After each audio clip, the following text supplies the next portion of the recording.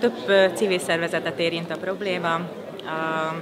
Amint ismeretes, ez tavaly év, tavalyi év végén kezdtük el oldani a, azoknak a civil szervezeteknek a, a gondját, melyeket a belügyminisztérium egyszerűen elutasította a regisztrációját, amiatt, hogy nem szlovák megnevezésűek, illetve bizonyos esetekben a kétnyelvű megnevezés nem első helyen a szlovák szerepelt.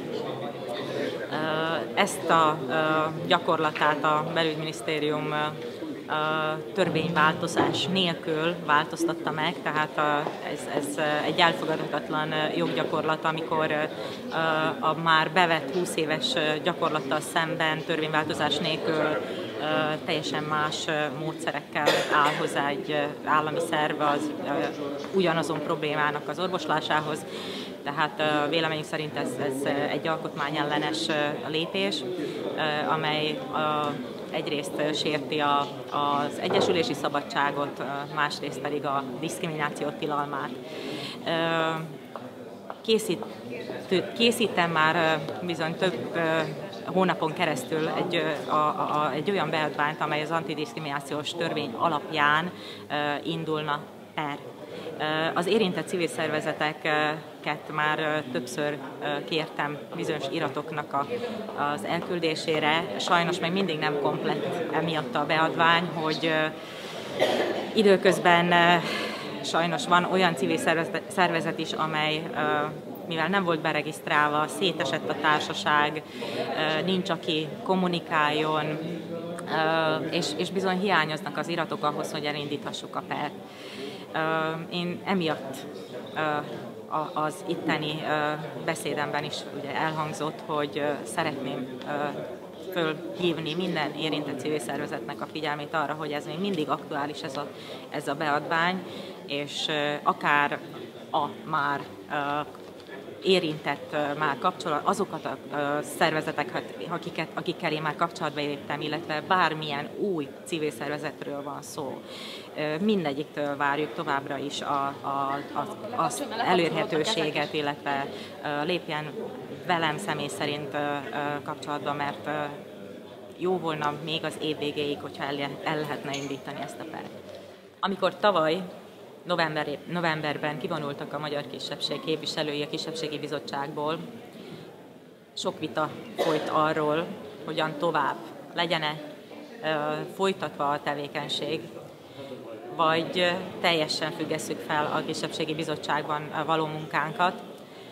Végül az új választások kapcsán arra az elhatározásra jutott a Kerekasztal Koordinációs Bizottsága, hogy jelölj, jelöljünk magyar képviselőjelölteket is, akiknek viszont az lesz a feladata, hogy olyan alapszabálymódosításokat nyújtson majd be, amelyekkel visszaállítjuk a magyar képviselőknek a szavazati arányát, vagy a szavazatuk súlyát valamilyen módon.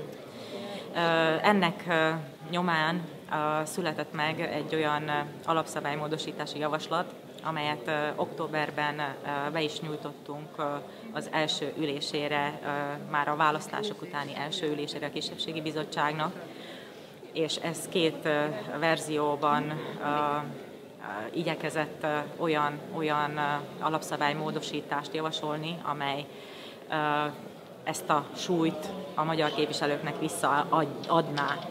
Az egyik alternatíva szerint tulajdonképpen a az egy éve ezelőtti állapotok visszaállítása jött volna számításba, ami menet közben kiderült, hogy teljesen elfogadhatatlan úgy a többi kisebbségnek, mint a, a kormányhivatalnak. A második verzió már picit jobban tárgyalható. Egyenlőre folyamatban vannak a tárgyalások, hogy milyen formában, illetve hogy el fogják-e majd fogadni, azt még meglátjuk. Ez szerint a, az alternatíva szerint az a kettős többség elve érvényesülne a kisebbségi bizottságban, amely november 1-től az Európai Unió tanácsában is működik.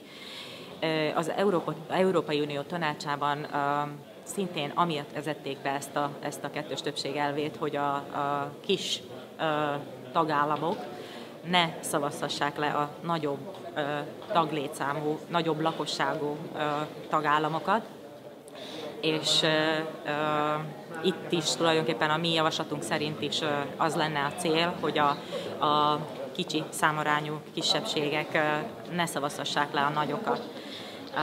Ugyanis bármelyik kisebbségnek a kérésére lehetne egy dupla szavazást tartani, mely szerint a második szavazásnál már nem minden kisebbségnek egy-egy szavazata volna, hanem a szám arányuk szerint volna többségük.